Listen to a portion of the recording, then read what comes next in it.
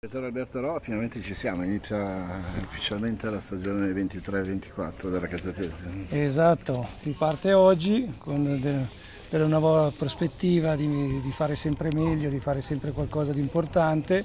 È un gruppo molto cambiato, abbiamo tenuto l'ossatura di qualche anziano, poi giovani 3 o 4 e abbiamo inserito tantissimi 2004-2005 perché purtroppo la nuova regola ci obbliga a fare questo. Mi è dispiaciuto tantissimo aver perso alcuni giocatori solo per un discorso età, giocatori che hanno dato tanto l'anno scorso in questi anni, però purtroppo le scelte brutte o belle che sono ma vanno fatte e questo purtroppo è a discapito di anche di alcuni ragazzi.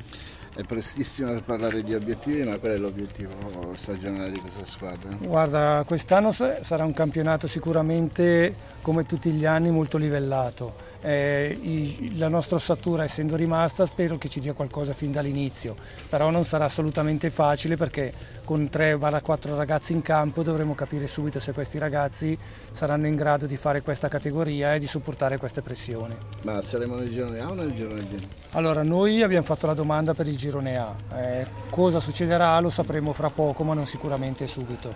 Sarà ai primi di agosto, non, non cambia niente per noi, sono sincero. Però era questione di volevamo metterci in discussione, cambiare un attimino un po' le situazioni, cambiare un po' le squadre. Era anche un discorso per noi stessi per voler fare un cambiamento. Tutto lì. Quindi tra una settimana c'è la presentazione della, ufficiale della squadra. La presentazione sarà venerdì sera qui alla, alla festa um, di, di, alla Fiera di San Gaetano.